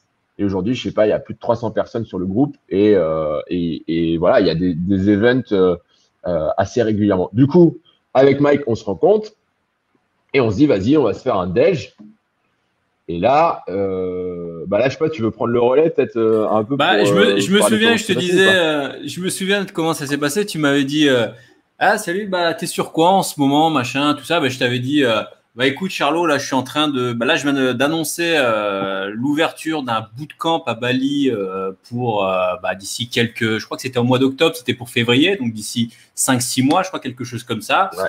Euh, justement pour apprendre euh, le dev, euh, JavaScript, React, etc. en remote, dans un coworking et tout, machin. Et puis je te disais, bah tiens, en plus, je suis en train de chercher un peu un projet, machin. Et puis, ça en est venu comme ça. Je sais plus, tu m'as dit, bah écoute, moi j'ai un projet. Euh, Remote Mentor, ça peut coller. Enfin, ça s'appelait pas Remote Mentor, je crois encore à l'époque. Il y avait un, peut-être il y avait un autre nom, je me souviens plus du nom. Et puis je me suis dit, mais mec, c'est exactement le projet de dev front-end en React bah, qu'il nous faut justement euh, pour bah, justement pour monter en compétence. Il y avait un peu tout. Il y avait vraiment du front, il y avait du React. Il y avait, enfin, en termes de stack technique, on en a discuté un peu rapidement. Ça, ça, ça collait pas mal. Et côté back, alors même si c'était pas abordé dans le bootcamp, il y avait des choses. Euh, il y a toujours des choses vraiment sympas au niveau d'Amazon, Amplify, serverless. Enfin, il y a tout. Euh, il, y a, il y avait plein de bonnes choses. En fait, tu m'as sorti tellement de comment dire de bons mots-clés que je me suis dit, euh, let's go, allons-y, partons, euh, partons pour, euh, pour ça. Je ne sais pas si tu t'en souviens. Yes. Ah bah moi, je m'en souviens très très bien. C'était il y a un an. Et avant ça, avant ça, en fait, j'ai eu la chance d'avoir, j'ai eu deux stagiaires qui venaient faire des stages d'entrepreneuriat à Bali. Et j'ai eu un gars, Giuseppe, qui est venu en stage et lui, il faisait du code. Et en fait, ce dont j'ai parlé tout à l'heure, l'application 16JS, il a tout migré. Attention, on était sur 16JS, on a migré sur AWS Lambda. Donc là, on est sur une API REST. Et de cette API REST, on est passé sur Amplify. Donc Giuseppe, il a refondu l'API deux fois. Et quand vous, donc toi, quand on s'est rencontrés, tu me disais, je cherche un projet pour mon bootcamp. Et je t'ai dit, bah, bingo, prends. Donc le projet s'appelait Working on the Globe. Et je t'ai dit, bah, vas-y, prends Working on the Globe.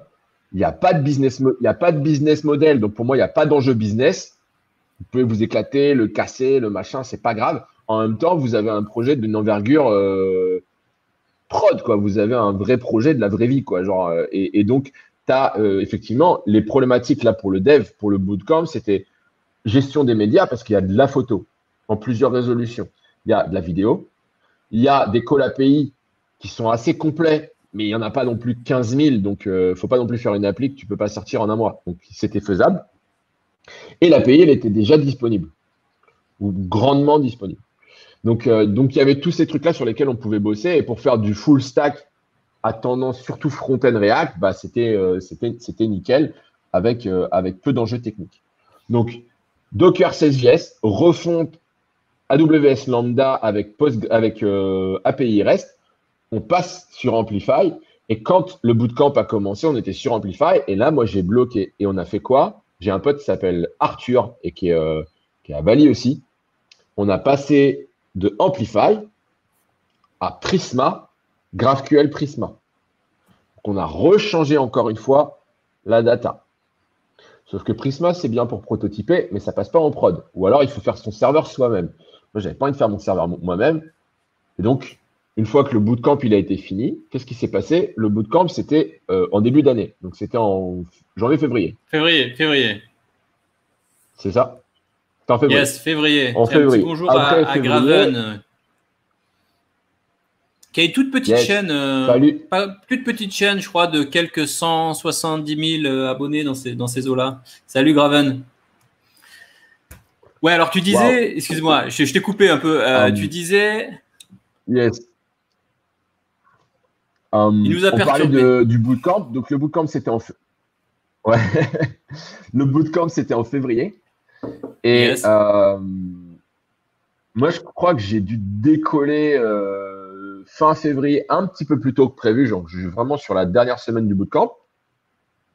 Et euh, je suis arrivé en Ukraine. Et en fait, on était en fin de prototypage et on se disait, OK, on va, on va sortir la version du bootcamp, on va la sortir pour que moi, je puisse la montrer un petit peu et que les gars qui ont bossé dessus puissent aussi la mettre sur leur portfolio. Et il y a un mec que, je salue bien qui s'appelle Evan qui est resté à bord euh, à mes côtés pour, euh, pour finaliser euh, Remote Mentors. On a entre-temps renommé. Et on a rebasculé l'API de Prisma à Amplify. Rebasculé encore une fois la data. Et là, ce qui s'est passé, c'est là, je vous apprends rien. Février 2020, derrière arrive en mars le Covid et la quarantaine. Et là, je me dis, OK, euh, je vais pas aller en France parce que c'est un coup à se rester coincé euh, entre deux avions ou euh, les trucs vont fermer ou je vais rester bloqué en France. Donc je fais OK, je reste en Ukraine, on verra, on bougera quand ce sera un peu plus calme. Et je me dis mais là j'ai ce truc là avec tout le travail en remote, il faut absolument que je sorte quelque chose. Et du coup je cogite, je cogite, je cogite. Et je dis OK, il faut que j'en fasse une version de prod, j'en fasse un produit, un business et que je qu'en fait, je consacre euh, ma vie, en tout cas mon énergie et ma vie cette année là-dessus, à sortir ce machin-là. Et donc là, je me suis mis vraiment, on n'était plus dans c'est le sujet pour le bootcamp, c'est un prototype, je m'amuse ou quoi. C'est là, je suis ok. Je, me suis dit ok, je pars full on, je reste en Ukraine, j'oublie euh, les voyages en France, Bali, le surf, tout ça, et je reste en Ukraine. Et donc je me suis mis dans un appart avec toutes les conditions pour bien bosser. Et la vie fait qu'aujourd'hui, j'ai peu d'autres choses à envisager. Je me suis dit, OK, je bourrine, je fonce et, euh, je le finis et je le fais bien. Et en fait, c'est ce que j'ai fait toute cette année quasiment. J'ai eu des petites choses à côté, mais c'est vraiment auxiliaire. Et donc cette année, euh, et on a refait du coup, on n'a pas changé le stack, mais on a refait le code. On a tout remigré sur un code front A2. Euh, voilà, Evan, il a bossé hyper dur avec moi pendant quasiment six mois. Euh, et là, voilà, là, on a un truc qui est, euh, qui est, prêt. Donc, on est en bêta privée et c'est accessible, ça tourne, ça casse pas. on a mis en place les systèmes de paiement avec Stripe. Et là, le sujet aujourd'hui, c'est de préparer la sortie, la communication. C'est bien d'avoir un produit. Maintenant, mon, gros sujet, c'est vraiment de le sortir pour le montrer au monde. Et, et, donc, c'est ça le, gros challenge dans, les semaines qui viennent. Yes. Et du coup, moi, j'avais une petite question. Tu sais, je me souviens au bout de camp, on discutait de pas mal d'idées, de fonctionnalités, de machin. Tu avais une stratégie, etc. Et il y avait une question qui est passée, on l'a zappé vite fait. C'était quelle stratégie commerciale as-tu prévu pour cette plateforme? C'est vrai qu'à l'époque, tu tâtonnais un peu sur le sur le business model. Tu voilà, tu savais pas. Est-ce que maintenant c'est un peu plus clair pour toi ou c'est toujours entre voilà Est-ce que tu peux nous en parler? Ouais. Alors, on va itérer, mais euh, en gros, euh, bah déjà, c'est une super question, Dibi, donc euh, cool. Et je te fais un sum up aussi. Et, parce qu'en fait, ça, c'est un truc à prendre en considération dès le départ. C'était pas grave au début parce que c'était un side project pour le fun. C'était pas grave pour le bootcamp parce que c'était un sujet d'apprentissage. Mais à partir du moment où j'y mets plusieurs mois de ma vie, ça peut pas être pour des pépettes. Voilà. Là, je le fais pas que pour le fric mais tu peux pas ignorer le fait que ça doit être rentable quand il passe. Euh, quand je dis j'y ai passé des mois, c'est que euh, moi je suis en mode 6 euh, bah, voire 7 jours sur 7, frais... soir et week-end, et ça prend. Surtout que tu as des frais d'Amazon assez chers. Et rappelle-nous, tiens, allez, la petite anecdote, à la petite anecdote avec les, instances Amazon, ça va faire rire peut-être du monde. c'est quelque chose. Faites attention. Je, je te laisse, je laisse la raconter. Je vais revenir sur la stratégie commerciale, mais alors j'ai pas de frais sur Amazon parce que j'ai réussi à avoir les crédits startup. Donc j'ai j'ai 4000 balles de crédit euh, de crédit Amazon et je suis loin de les avoir éclatés. Euh, donc j'ai très peu de frais de ce côté-là, mais j'ai un coût d'opportunité, c'est-à-dire que le temps que je passe sur cette plateforme-là, je le passe pas à faire autre chose.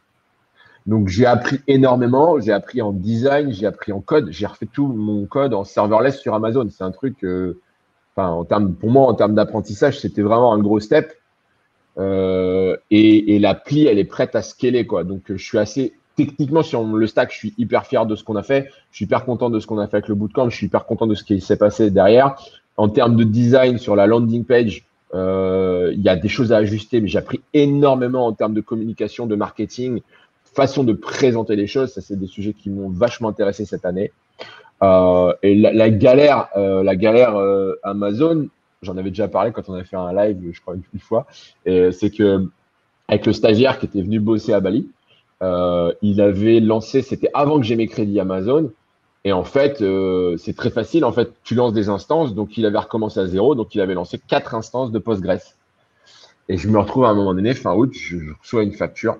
Alors, c'était pas sur du papier, hein, mais je reçois une, Putain, et c'était 350 balles de frais d'Amazon. Et je dis, mais pourquoi, quoi, tu vois? On est, on est là, on, a, on, on est deux en localhost, des trucs qui pas live. Et en fait, la vérité, c'est qu'avec les instances de, database, tous les instances sur euh, Amazon ne sont pas payantes. Quand tu fais du GraphQL euh, euh, sur DynamoDB, par exemple, tu payes pas en dessous d'un certain seuil, mais les instances Postgres sont payantes. Et en fait, t'imagines, c'est comme si tu avais loué le Stade de France pour fêter ton anniversaire que tu étais trois et que tu avais laissé la lumière allumée. Et les gens ils te disent, ben, on s'en fout en fait, vous avez laissé la lumière allumée pendant 24 heures, ça va me coûter tant. Et donc 300 balles, c'est pas grave. Enfin pour moi c'était ça, m'a fait mal au cul. Pardon, mais voilà, ça fait un peu mal. C'est pas dramatique, tu vois, ça ne m'a pas coûté, c'est pas 10 000 balles. Mais tu as des gens qui se prennent des cartouches à base de, milliers, de dizaines de milliers d'euros à faire ce genre de truc. Moi, j'ai appris de cette erreur-là à coût de 300 balles. mais ouais, faites gaffe quand vous lancez des trucs sur Amazon. Mais il y a des techniques, il y a des produits sur Amazon ou ailleurs. Alors, moi, je suis pas un évangéliste Amazon. Euh, techniquement, il y a des choses qui marchent super bien. Donc, il faut se dire que c'est très séduisant quand même pour un dev. Euh, et il y a des choses qui sont gratuites au départ. Et il y a aussi les crédits startup qui te permettent de commencer. Voilà. Après, il euh, faut être à l'aise avec le fait de bosser avec Amazon. Politiquement, ça peut aussi poser des questions. Mm, voilà, c'est un, deal à, à faire avec sa, son éthique et sa morale personnelle. C'est un autre sujet, mais c'est un vrai sujet. Donc c'est pour ça que j'en fais mention. Tiens, j'en profite. Ah, tu reviens sur la stratégie commerciale. Ok, parce que j'ai un bêta testeur là qui vient de nous dire que euh, ça passe pas sur Gmail. Mais bon, c'est pas grave. Euh, oh, tu voulais terminer sur la stratégie commerciale ou on avait, où on avait, euh, ouais. on avait tout dit. Moi, du coup, j'en ai parlé. On a parlé de la galère. Euh, on a parlé de la galère Amazon. La stratégie commerciale, Donc là, on va avoir une sortie sur Product Hunt, mais les gens sur Product Hunt ne sont pas nécessairement les clients de, euh, du contenu. Parce que Attends, juste avant, juste avant, Charlot, excuse-moi, je, te coupe parce que nous, on connaît Product Hunt. Euh, d'ailleurs, j'ai fait un email où j'ai même dit PH. Il y a certaines personnes qui ont cru que c'était Pornhub. Non, non, c'était pas Pornhub, c'est Product Hunt. Ça, est-ce que tu peux rappeler c'est quoi Product Hunt? Puisqu'on va parler de ça dès maintenant. Euh, tu vas me faire un rappel rapide sur, sur, cette plateforme? Sure. Product Hunt, c'est donc c'est un site sur lequel on a des makers et des hunters. Les makers, c'est les gens qui vont fabriquer un produit ou qui vont avoir un projet euh, bah, web. En général, ça va être une application. Ça peut être une application aussi mobile. Mais en gros, vous avez un, produit euh, et vous allez le, vous êtes le maker, vous êtes une équipe de makers et vous allez présenter votre produit au monde sur Product Hunt. Et donc, il y a euh, les gens voient tous les jours. Il faut, aller voir comment ça fonctionne. Mais les, gens voient tous les jours en fait les produits qui sortent sur le jour et vous allez voter pour le produit, euh, les produits que vous aimez bien. Euh, et vous pouvez donner du feedback aux produits qui sortent. Et donc, euh, une sortie Product Hunt réussie, si on arrive à être sur le podium ou même numéro un, ça peut avoir un impact énorme en fait en termes de succès sur le côté business. En revanche, on ne peut pas mettre toute sa stratégie commerciale là-dessus. Euh, ça suffit pas parce que déjà, bah, c'est difficile et et il y a plein de paramètres à prendre en compte. Donc, euh, Product ce n'est pas une stratégie commerciale. Faire une sortie Product c'est un, c'est un coût et, euh, et, c'est pas forcément, mais c'est pas forcément suffisant. Les, les, gens qui sont sur Product par rapport à Remote Mentors, par exemple, moi, ce qui m'intéresse, c'est d'avoir leur feedback sur l'aspect de la technologie, en fait. C'est-à-dire que cette technologie qu'on a créée pour Remote Mentors, le, côté atomique vidéo, c'est quelque chose qui peut intéresser. J'ai déjà des pistes pour des gens qui veulent en faire d'autres sur d'autres sujets. Donc c'est ça qui est intéressant, c'est aussi de donner de la visibilité, de la crédibilité à la boîte et, euh, au projet euh, principalement. Mais c'est pas vraiment une démarche commerciale pure. Après la stratégie commerciale aujourd'hui, euh, ben, on a mis en place un compte Instagram. on va essayer de travailler sur, la, sur le long terme en fait. On va travailler aussi au travers de publicité Facebook pour aller chercher des gens qui ont des questions en fait par rapport au remote. On va faire aussi un travail euh, commercial de d'être présent sur les réseaux, par exemple typiquement des groupes Facebook où il y a des remote workers et des digital nomades qui posent des questions et leur dire ok votre question est intéressante, nous on en a parlé dans l'application, est-ce que ça vous intéresse de tester? Au début la stratégie commerciale c'est pas du gros volume, c'est d'aller chercher les utilisateurs un par un et leur dire hey salut j'ai vu que tu avais posé telle question sur tel groupe, bah si tu veux euh, check ça et dis-moi ce que tu en penses. Et euh, tu vas chercher les utilisateurs un par un. Et puis après, ouais, il y a l'aspect publicité Facebook. Je pense que ça va être euh, le. Moi, c'est là-dessus que je mise le plus, en fait, pour le moment. c'est d'aller travailler avec les pubs Facebook. Voilà. Ok, super. bah, on a dépassé un peu l'heure du live. Euh, l'idée, l'idée, l'idée, j'aimerais bien quand même. Alors, on a quand même parlé de la, stack technique. On voulait, on voulait présenter un peu toute la partie serverless, Amazon, tout ça, mais je pense qu'on n'aura pas le temps de rentrer dans le détail. On l'a, on l'a un peu abordé. Euh, et sur la partie, on voulait terminer sur Product Hunt. Tu en as parlé un peu là. Euh, est-ce que tu as d'autres choses à rajouter là-dessus? Yes. Um, bah, déjà, Ouais, enfin sur Product Hunt, est-ce que j'ai des choses à rajouter? Bah, je vous invite à aller regarder Product Hunt. Euh, alors, a priori, il y a un problème de, il y a un problème avec le, l'adresse de Product Hunt qui passe en spam. Euh, mais euh, nous, on va sortir sur Product Hunt dans les semaines qui viennent. Et euh, du coup, peut-être que l'idée, c'est aussi de voir. Moi, j'essaye de faire tout ce que je peux pour que ça fonctionne. Euh, quand on sort un produit sur Product Hunt, euh, ça se prépare donc on fait un launch et un launch en fait il faut faire un pré-launch, c'est-à-dire qu'il faut se c'est pas genre j'ai fabriqué mon truc, il est fini, je le mets sur Product ça va marcher. Ça c'est un coup à avoir 10 euh, likes et, euh, et en fait ça sert pas à grand chose. Et vous pouvez pas launcher tous les jours. Il, y a, il faut six mois en fait euh, entre chaque moment. Vous pouvez launcher plusieurs fois le même produit avec plusieurs versions, mais il faut six mois entre entre entre temps. Donc, euh, quand tu dis, quand tu dis launcher, ça veut dire quoi? Ça veut dire, ça veut dire, excusez-moi, parce que même moi, j'ai du mal à comprendre. Sur la partie, en fait, c'est quoi? C'est une, c'est une, comment dire, c'est une règle qui est faite par la plateforme? Comment ça se passe? Parce que moi, j'ai jamais lancé sur Product Hunt. C'est-à-dire que tu arrives, tu, quoi, tu proposes un produit, tu dis, bah voilà, et, et qu'est-ce qu'ils vont faire? Ils vont te mettre en avant pendant, euh, je sais pas, une semaine ou comment ça se passe en fait? C'est quoi le, le, principe du lancement euh, sur Product Hunt? Ok, alors euh, bah, je pense qu'une fois que je l'aurai fini, peut-être que j'écrirai un truc dessus, on pourra en reparler avec l'expérience euh, et, le recul et rentrer plus dans les détails. Euh, mais en gros, quand tu as, un produit, donc si je prends l'exemple de Remote Mentors, qu'est-ce que j'ai fait? Je suis allé voir un, ce qu'on appelle un hunter. Donc un hunter, c'est quelqu'un qui chasse. Hein, un, un, hunter, c'est un chasseur. Donc c'est un chasseur de projet. Et donc le chasseur de projet va dire, bah, moi j'ai trouvé Remote Mentors j'ai envie de le montrer à la communauté Product Hunt. Et Product Hunt, c'est très axé communauté, en fait.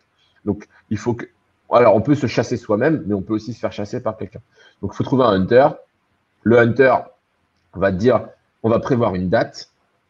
Et on va dire bah voilà, telle date, le produit va être montré à la communauté Product Hunt. Et donc, ce jour-là, là, l'idée, c'est qu'il euh, y a un maximum de personnes qui voient le projet et s'ils apprécient le projet, bah, ils, le, ils le upvotent. C'est-à-dire qu'ils mettent, c'est comme un like, quoi. Ils, leur mettent un point. Et donc, euh,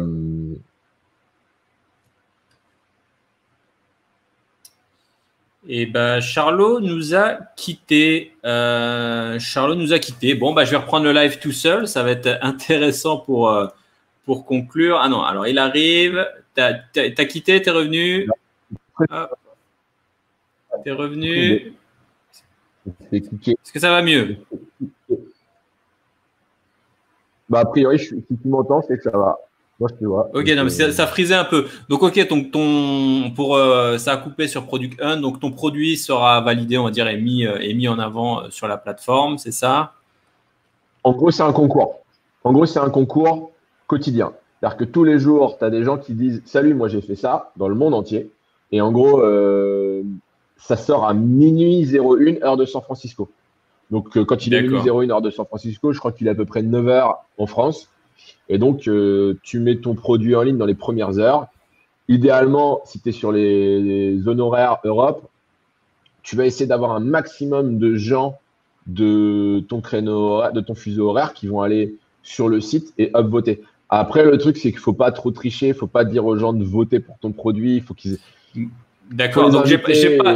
Donc, on n'a on a, pas, on, n'a pas trop le droit de, de dire euh, ici officiellement euh, sur euh, sur ce live. Allez tous voter pour Remote Mentor à telle date, quoi. Officiellement, c'est pas c'est pas trop autorisé. D'ailleurs, est-ce que tu as une date? Tiens. Non, mais en revanche, je peux dire que si vous aimez mon projet, si vous aimez Remote Mentors et que vous voulez soutenir le projet, bah, comment ça marche sur Producton? Il faut mettre un upvote, il faut appuyer sur le triangle et lui mettre un pouce vers le haut. Ça, ça me paraît quand même relativement correct. Hmm.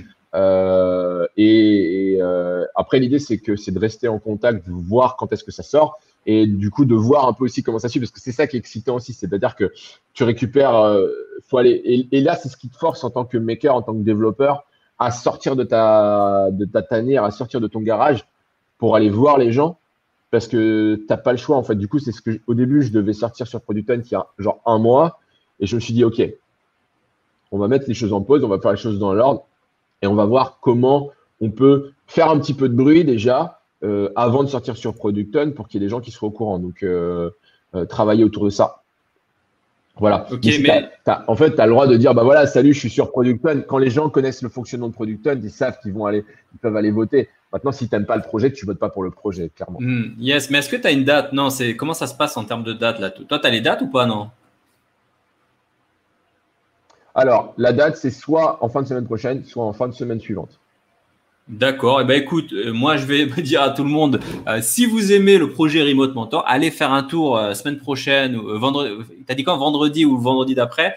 Et, si vous voyez Remote Mentor et que le projet vous plaît, bien sûr, mettez un petit, un petit, un petit upvote Yes. Et puis le cas échéant, je sais pas si après on peut, il y aura d'autres manières. Et effectivement, alors le, truc qui passe en, l'email passe en spam. Je sais pas s'il faut checker les spams par rapport au, euh, par rapport au site, mais euh, tu avais mis le lien de. J'ai mis, le, mis, le lien normalement dans, dans la description. Donc je pense qu'on parle de ce, de ce, bah, de ce, lien-là. Bah, c'est soit ça, soit euh, bah, de follow. Euh, ça peut être de me follow sur OK Charlot. Forcément, moi, je vais en parler personnellement.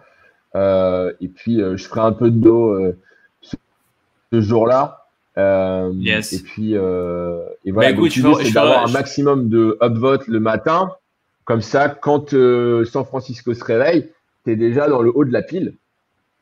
Et les hmm. gens vont découvrir, dans la communauté, vont découvrir ton projet. Et voilà, il faut faire une jolie vidéo, il faut faire des, beaux, des belles captures d'écran, il faut bien expliquer son projet. Il y, a, plein d'articles qui ont été écrits sur le web pour voir comment lancer un, projet, un produit sur Product Hunt. Mais voilà, ce qui est intéressant, c'est que ça te force à sortir de ta tanière pour aller parler aux gens et leur dire, bah, allez voir ce que j'ai fait et non pas. Euh, je pense que c'est, je, pense que c'est, et je pense que c'est quelque chose. Bah, ça pourrait être un sujet à part entière, ça, mais euh, euh, de montrer son travail aux gens. Tu sais, on a toujours peur du, bois, c'est nul, tout ça pour ça, machin, tout ça. on a peur du, du, retour des gens, en fait. Toi, quel est ton avis par rapport à ça? Est-ce que tu as peur de monter ton travail ou justement, bah, tu dis, bah, c'est comme ça, tu es à l'aise avec ça? Ton avis là-dessus? Ouais. Euh, et ben moi, j'ai super peur de montrer mon boulot. Et, euh, et j'ai fait une vidéo là-dessus, d'ailleurs, il y a une semaine où, je sais plus, j'ai fait un, je fais une vidéo en marchant pour parler de ça, en fait, parce que c'est une problématique intéressante. C'est une problématique aussi sur lesquelles, alors j'ai peur, mais j'avance quand même. je pense que la peur, la peur, elle est là. Euh, alors c'est pareil, je suis reparti pour cinq minutes. Je sais pas si vous êtes prêts, mais comme je parle beaucoup, euh, c'est un sujet ça qui me passionne. Ça, tu sais, tu sais très bien que c'est un sujet qui me passionne. Euh, pourquoi on a peur? Parce que, et ça, j'en parle dans mes coachings aussi, les gens qui viennent en coaching avec moi, c'est vraiment sur la peur qu'on travaille. Parce que c'est la peur qui t'empêche d'accéder à tes ressources. Tu peux être un, excellent, euh, développeur. Euh, si tu as peur de montrer ton taf ou euh, si tu as peur d'aller vers les autres, tu vas rester un, un, excellent développeur dans ton coin. Et pour vraiment avancer, pour vraiment accéder à une forme de succès, il faut s'ouvrir au monde, il faut sortir de sa tanière, même si ça fait peur. Et euh, l'idée d'avoir peur, avoir peur, c'est pas grave. Tout le monde a peur et la peur, elle est là pour te protéger. D'où elle vient la peur? La peur, elle vient du fait que avant d'être des développeurs, des, entrepreneurs, des makers, des, designers, on est des animaux. Et ça, c'est hyper important de se souvenir de ça. On est des animaux. Et quel est le comportement des animaux face au danger? Si on rembobine un petit peu la cassette et qu'on remonte à la préhistoire et aux animaux qu'on était, Qu'est-ce qui se passe quand tu es dans la savane ou tu es dans la forêt ou, quoi? Si tu attends de voir le lion pour te mettre à courir, tu vas te faire bouffer en fait. Donc, on a développé une manière de voir euh, les, dangers au loin. Donc, les changements, en fait, les changements de l'environnement, on les voit arriver de loin. Les oiseaux qui s'envolent ou les choses comme ça, on dit putain, il se passe un truc, il faut que je me planque. Et la peur, elle est là pour te protéger on, attribue tous les changements à quelque chose de dangereux. Ça, c'est ton ego, c'est ton inconscient qui te protège. Que ce soit de, protéger du succès, protéger de l'échec, mais aussi protéger du succès. Le, le, cerveau ne fait pas la différence. À partir du moment où tu fais un changement, tu as de la peur qui s'installe. Et montrer ton travail, c'est un changement parce que tu vas montrer aux autres ce que tu as fait et les autres peuvent ne pas être d'accord avec ce que tu as fait. Et comme on est, non seulement on est des animaux, on a peur du changement, mais on a aussi peur du jugement des autres. Pourquoi on a peur du jugement des autres? Parce qu'on est des animaux de groupe, on est des animaux de tribu, on est des animaux grégaires. C'est-à-dire qu'on ne survit que parce qu'on est ensemble. C'est ça les, principes un peu de base des sociétés euh, de base. Tu survis parce que tu es ensemble. Et à partir du moment où tu montes ton travail et que tu t'exposes au jugement des autres et que tu vas parler en public, tu vas t'exposer à ce que tu es des haters, tu es des gens qui disent c'est de la merde ce que tu as fait, ou euh, c'est nul, ou tu te fous de la gueule du monde, ou tu es vraiment culotté de demander autant d'argent pour avoir fait tel ou tel, tel machin. Parce qu'il y a des gens qui vont kiffer et il y a des gens qui vont pas kiffer. Et ça, il faut se mettre à l'aise avec ça. Et, euh, et donc, voilà d'où vient cette peur de monter son travail aux autres. Maintenant, l'exercice, c'est d'avancer malgré tout. Et la seule solution pour, euh, avancer malgré tout, bah, c'est d'avancer malgré tout. C'est de se dire, OK, j'ai peur, mais j'y vais quand même. Je suis pas prêt, mais j'y vais quand même. Euh, et de faire des trucs qui te sortent de ta zone de confort. d'aller parler à des gens, d'aller montrer sa face, euh, voilà, d'aller se montrer. on n'est pas tous égaux devant ça. Il y a des gens qui sont très à l'aise dans le fait de se montrer. Il y a des gens qui peuvent être. Moi, je suis assez à l'aise quand je suis en confiance, par exemple. Mais euh, il y a des exercices qui, pour moi, sont plus difficiles. Donc, pour répondre à ta question, ouais, j'ai peur de montrer mon boulot. Mais cette année, pour moi, c'était une façon d'aller quand même. Qu'est-ce qui se passe quand on a peur? Et ça, c'est là où c'est un peu vicieux. C'est que nous, quand on fait des applications ou des sites, des trucs sur le web, et ça, j'en parlais dans la vidéo que j'ai faite, c'est que on on n'a jamais fini. Parce qu'il n'y a personne qui va arriver et te dire, Charlot, t'arrêtes là, c'est fini. À part quand tu as un coach, un mentor qui te, qui vraiment qui te, cadre. Mais sinon, tu vas, personne au-dessus de toi quand tu es entrepreneur. Tu n'as personne qui va te dire, bon, t'arrêtes là, c'est fini, c'est prêt, tu, tu, tu, vas le sortir ton truc. Donc, il faut se, il discipliner vis-à-vis de ça. Et le piège, c'est qu'à chaque fois, on se dit, bah non, c'est pas prêt. Là, il manque ça. Là, il faut que j'installe Stripe pour prendre les paiements. Là, il faut que je fasse un récupérateur de mots de passe si jamais les gens ils sont perdus. Non, on s'en fout. T'as pas besoin d'un récupérateur de mots de passe. T'as pas d'utilisateur. Mais on va toujours se rassurer en se disant, j'ai toujours un truc à corriger. Il y a toujours un bug. Il y a toujours un truc à améliorer. Et ça, c'est le, créateur, le designer, le, le développeur qui va toujours se trouver une excuse rationnelle pour ne pas aller montrer son travail. Et le cerveau, il est super fort là-dessus pour trouver des manières euh, intellectuelles, rationnelles, où tu peux rien dire, pour dire tu passes un mois de plus à coder parce que tu n'es pas prêt. Alors qu'en fait, c'est pas vrai. Et ça, c'est très difficile à voir. Très, très difficile à voir. Yes, eh ben, écoute, je suis complètement d'accord. Euh, je pense que sur un projet, sur, sur un, un, des anciens projets startup qu'on avait monté avec des collègues, on a sorti un projet en, en plus de huit mois, voire un an, alors qu'en fait, le truc aurait pu être torché finalement en un mois ou deux. Et puis voilà, on aurait pu avoir des retours assez rapides. Mais c'est la vie, c'est comme ça. Bah écoute, Charles, on arrive quand même à 1h21. Euh, bah, c'était vraiment intéressant cette interview. On a pu découvrir euh, pas, mal, euh, pas mal de choses. on voit que tu as un côté très, très coach hein, quand même quand tu, quand tu nous parles. Là, on voit que tu, tu vas au fond des choses et ça, c'est bien. Et d'ailleurs, je voulais rappeler pour les personnes qui sont pas au courant que justement, Charlot euh, fait des coachings avec moi sur le système freelance, mais vous pouvez aussi prendre euh, des coachings individuels avec Charlot si vous avez envie, des coachings avec moi aussi. Mais en ce moment, Charlot a euh, quelques créneaux jusqu'à, je crois, jusqu'à dimanche. Tu as quelques créneaux qui sont justement à, rappelle-moi le tarif, justement, tu, tu, fais 50, c'était quoi, 100, 100 euros le de 150 euros. Donc, tu as, as, un coaching d'une heure de 80 trop, trop de paramètres. On se la refait. Tu as donc du coup, un de, minutes pour euh, 100 euros, donc 50 euros de réduction, donc à peu près 50% de réduction euh, pour un coaching avec Charlot. C'est seulement euh, avant dimanche, parce qu'après, je crois que tu pourras plus. Et euh, donc voilà, il reste quelques créneaux pour les personnes intéressées. Moi, je mettrai un lien qui n'est pas encore dispo. D'ailleurs, je mets le lien euh, en dessous dans la description pour les personnes euh, qui sont intéressées. Et aussi une autre chose pour les personnes qui m'ont dit, alors déjà je voulais remercier toutes les personnes qui ont pris euh, les formations pour le Black Friday, vous étiez nombreux. vous avez été nombreux aussi à me dire, Mike, on aurait voulu la formation euh, React.js, ben, un peu la formation qu'ont suivi euh, euh, Yon, Evan et Frédéric au bootcamp à Bali. Hein. ils ont suivi cette formation, ils t'ont aidé d'ailleurs à, monter cette plateforme. cette formation sera disponible bientôt, je pense semaine prochaine. Donc restez vigilants dans les emails quotidiens, ça arrivera. je pense que on arrive à la fin. Charlot, un petit, un petit mot de la fin, quelque chose à rajouter? Un petit mot de la fin? Euh, écoute, le dernier, la dernière question, là, ça me va bien, je resterai bien là-dessus. C'est que même si vous avez peur, faites-le quand même, en fait. Parce qu'il se passe eh des ben. choses magiques. Euh, et il se passe des choses magiques uniquement quand on y va, on se met dans l'action. Et donc, euh, même si vous avez peur, mettez-vous en action et allez montrer votre travail, allez le partager. Et vous n'êtes pas obligé de faire le Stade de France le premier jour.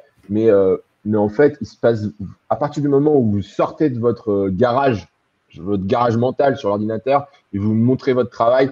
Moi, c'était un des gros sujets de cette année. C'était prendre énormément de, muscles en termes de stack technique et de me prouver que j'étais capable de sortir un truc hyper solide.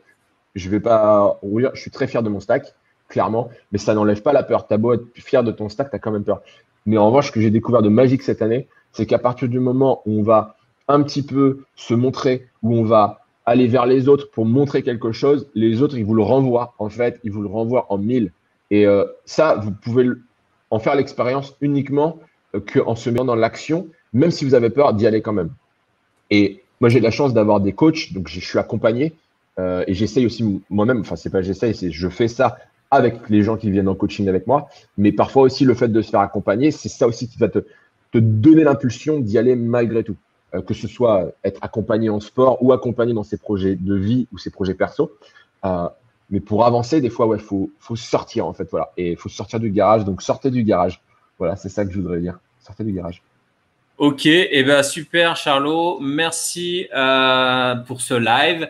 On met toutes les infos dans la description à la fin de ce live. Laissez-moi un petit peu de temps. Il y aura toutes les infos vers Product Hunt, vers les, les coachings, tout ça dans la description sur YouTube, Facebook et Twitch. Salut à tous et merci d'avoir été aussi nombreux présents dans ce live.